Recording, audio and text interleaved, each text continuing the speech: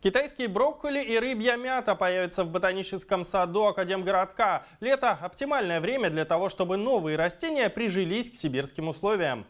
Сегодня на территории ботсада 14 тысяч видов. Сотрудники научно-исследовательского центра не только изучают таксоны, но и тщательно ухаживают за своими угодьями, а также создают новые экспозиции. В прекрасных садах побывала Юлия Алиханова. На тысячи гектарах ботанического сада расположились 11 открытых экспозиций. Одна из них – тактильный сад. Необычность этого места в том, что ощутить красоту растений здесь могут незрячие и слабовидящие. С помощью запахов и осязания люди видят природу с другой стороны.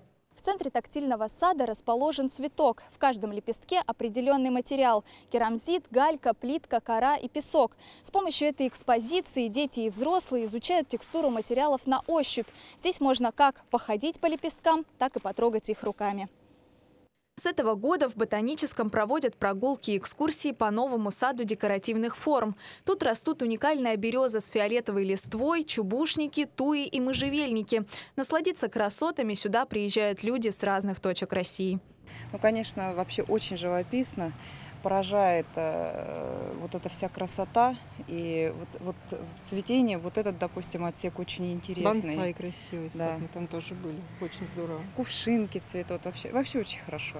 Крупнейший ботанический сад входит в состав сибирского отделения РАН. Ученые изучают растения от химсостава до способов выращивания. В ходе многолетних исследований выведены декоративные сорта черемухи и рябины, а также новый сорт жимолости, пригодный для механизированной уборки. Сейчас исследователи работают над новыми видами растений. В настоящий момент у нас э, ведется исследование еще двух э, овощных культур в качестве функциональных продуктов питания. Это китайская брокколи и рыбья мята. Чем вообще э, овощные вот эти культуры замечательны, у них короткий вегетационный период, они успевают то есть, в суровых условиях э, нашей Сибири вызреть. Также они имеют лекарственные свойства, в частности, допустим, регулировать уровень сахара в крови и понижать давление.